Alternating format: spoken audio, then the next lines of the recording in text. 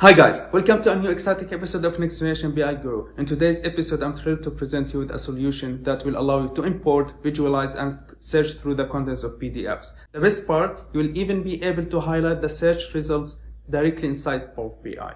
I'll guide you through extracting the text from PDFs, highlight them, and prepare the PDFs in proper format, and save all the contents in a PDF file ready to be imported into Power BI. Now, before we launch into the contents of this episode, subscribe to the channel to unlock a treasure of contents that will help you elevate your BI skills. As always, I've included all the contents covered in this episode, including the Python code, the Power BI file in a link in the description. Now, take a moment to pause this video, grab a cup of coffee, and let's push the limits of Power BI.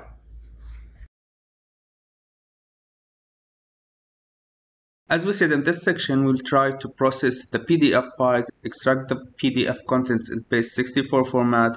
Additionally, we want the search text to be highlighted within the PDF.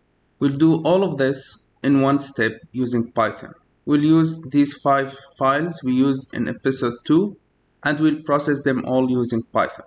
Now let's get started with Python. Open the development environment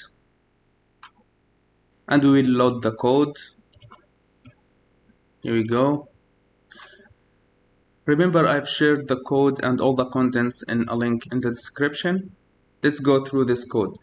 And as you see here we use some libraries that you need to install and some libraries are native to Python. I also have included all the libraries you need to install. I left it in a text file for you. We need to install these five libraries. All you need to do from the start menu type cmd and start feeding in these command lines. I have all the libraries installed but we can try one just to see how it works. Just copy and paste and enter. You can see the messages shows that all the requirements are already satisfied because everything is already installed. So you just need to install these libraries for Python. Having done that, we're ready now to go through the code. Just like before, I start by defining a function to process the PDFs, extract the PDF contents, and highlight the files. And here we will adopt a slightly different approach. You can see the code is bigger. It has more processing to do here. What we'll do in summary is as follows. First, we will open the PDF file. We create a dictionary to store the headers. We'll have those headers ID reference, the text, the merge column where the text will be stored, the source, the PDF, and we group them if you have many groups. We'll talk about this in a minute and the title. Also where the base64 code will be stored in chunks. We'll call them from B0 to 50. We'll create first the CSV file here and write the headers and close it. Then we'll have an iterative function that will go through pages of each PDF, extract the contents, it will save a temporary file for each of the pages, then we'll use this library to open the temporary PDF, then we'll extract the contents from the temporary file that contain one page, and we will clean it up from the HTML references using Beautiful Soup. Then we'll divide this text into paragraphs by finding all the P's stored. This is indicates a new paragraph and we store them in a list. Now we iterate through this list of these paragraphs and highlight it. Now this part is the important part. What it does, it will go through the paragraphs in each of those pages and save a separate temporary file for each paragraph with highlighting this paragraph.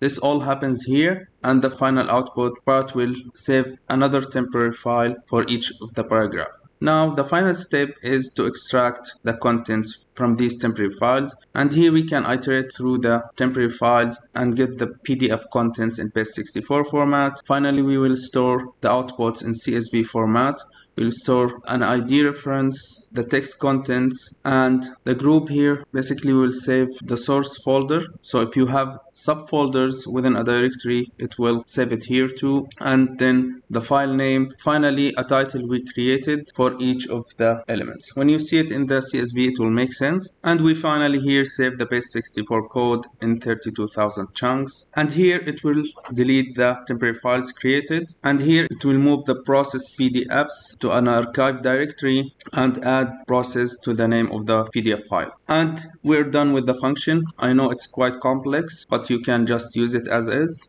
This is just for your reference. Here we can start using this code.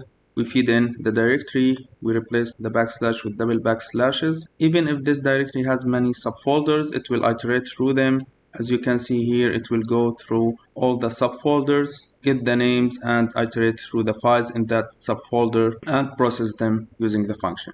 This is the code we're ready now for our pdfs you can see here we have a directory called pdfs if you open it you will have subfolder here called financial reports. If you have many subfolders with pdfs inside them they will all be processed and the processed ones will be moved to archive let's run this code and see. From run run module and we can see how the files are being moved. It's already moved four. It's processing the final one now. Done. You can see they all moved to archived. Now if we go back you can see CSVs are created. We have a separate CSV for each of the reports. See how it looks like here you go. You can see all the columns are added. We have a reference to give it a unique identifier. You have each paragraph is separated in a separate row now. You have the source or the file name and you have the subfolder name and you have a title that we'll use also in the dashboard later. And we have the base64 format. Now we can move to Power BI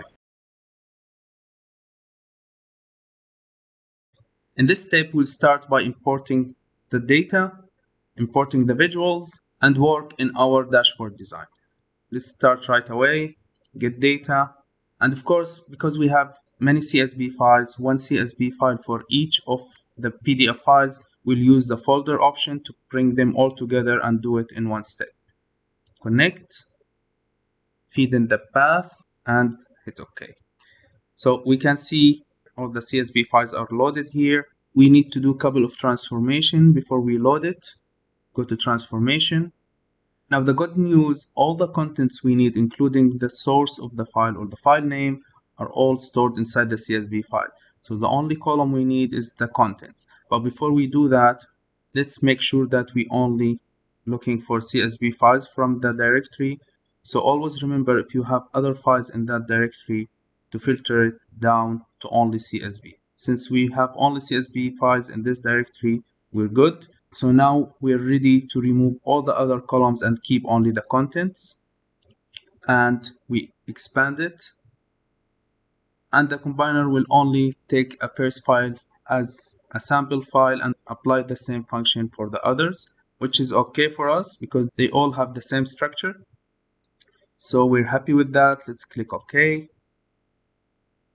Now what we need to do from transform use the first row as headers and we need to filter out two things. First the blank and second because each of the files csv files has the same header so this header will be repeated for each of the files. So we already took the first file header so we don't need the rest. Let's filter it out. And here we go we have the data ready to download to the dashboard. From home close and apply. Now, next step, we want to create a calculated column that will merge all the base 64 code into one single field. Just like the previous episode, episode 2, we'll use an Excel to create this function for all the 50 fields. We just need to take this cell, copy, go back to the dashboard, right click, new column. Name it pdf contents equals and paste enter. We have our calculated column created. Let's just hide all these extra fields now that we don't need anymore. From relationship select them all. From the top hold the shift and select the last one. And from properties is hidden. Turn it to yes. And go back to the report. You see that we have only the needed columns. Now let's start designing our dashboard. First, let's import the background from canvas background, browse. We'll use the same background we used in previous episode. Image fit, convert it to fit. Transparency, set it to zero, and we have the background. Now let's import the visuals we need for this dashboard. Um, go more visuals. Start by the PDF viewer. This is the one we usually use add okay and the other visual is the search we just type search and this is the filter we usually use add okay now we have the visuals let's start adding them to the canvas we'll start by adding a filter for the source or the pdf files we'll use the default slicer here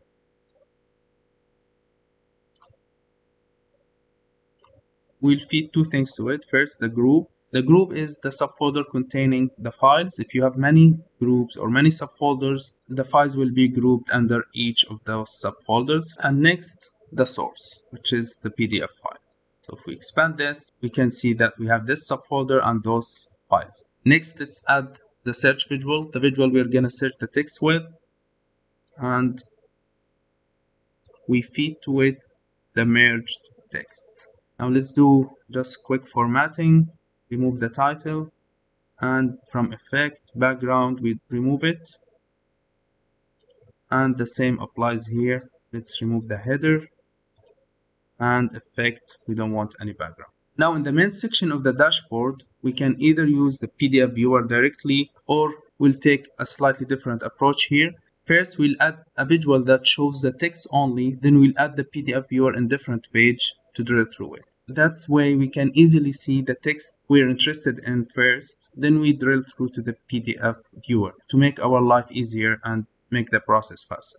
So from visuals, let's use matrix, choose here, and add two fields to it. First, the title. The title will contain the subfolder, file name, and the page reference. And underneath it, we'll add the text we are searching.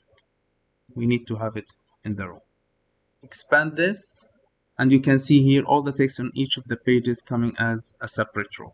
So this is page 1. Page 2 will have the PDF viewer. So let's call this page the search and the next page we'll call it PDF viewer. In this page we just need to add the PDF viewer and we'll be visualizing the PDF itself here for reference. Let's feed to it the PDF contents, the base64 code.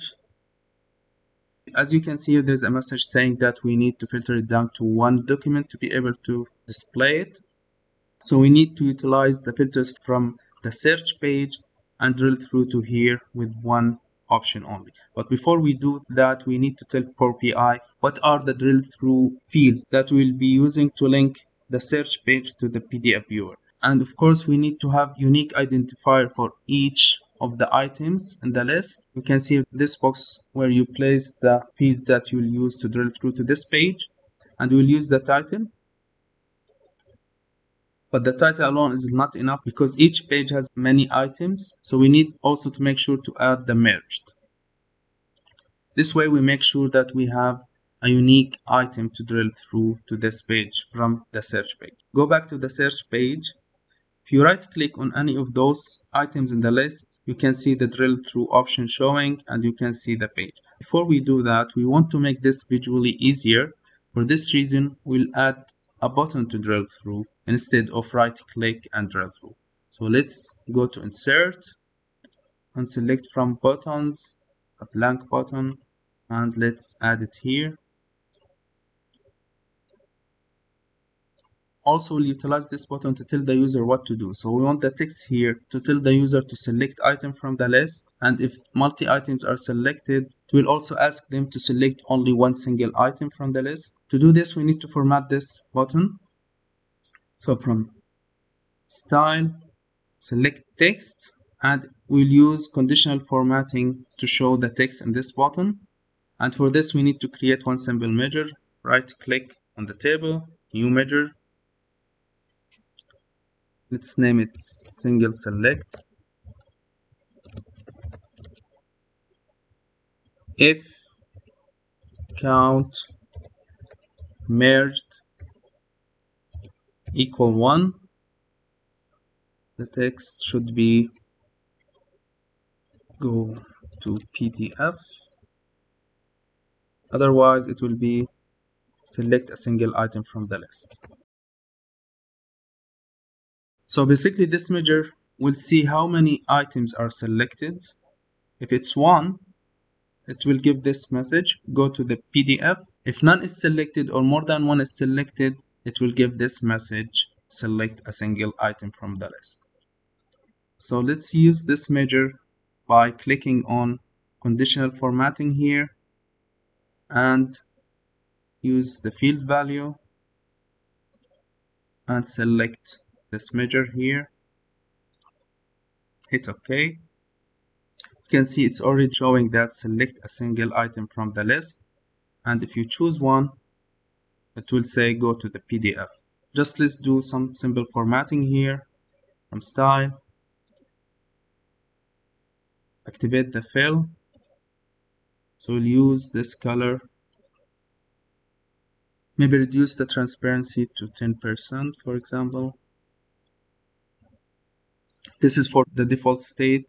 If it was disabled let's use the same color but make the transparency 80 finally we'll add the action to this button here we want to use it as drill through and we select the destination the PDF viewer. Now as you can see here, since no item is selected, it will ask the user to select a single item from the list. Once one item is selected, it will get activated and will give the message go to PDF. And we're ready to use the dashboard. Now let's try to do some simple search. Since all of those files are financial reports, let's look for profit. we can see the is already filtered for us and we can see also from the list the items are listed for us let's select one of them for example this item now go to PDF you can see in the page that we have the text already highlighted which make it very easy visually to locate the text we're searching for. So this is the paragraph containing the profit word showing right here. Let's try another one here. Again we have a page that rich of text and we can easily know where what we are looking for. It's already filtered. Let's try for example to search for revenue can see many contents filtered for us. Let's try any of them. For example this. You can see this page is full of text and it will be very difficult to locate the text you're searching for but here you can see it's nicely highlighted for us. And that's it guys.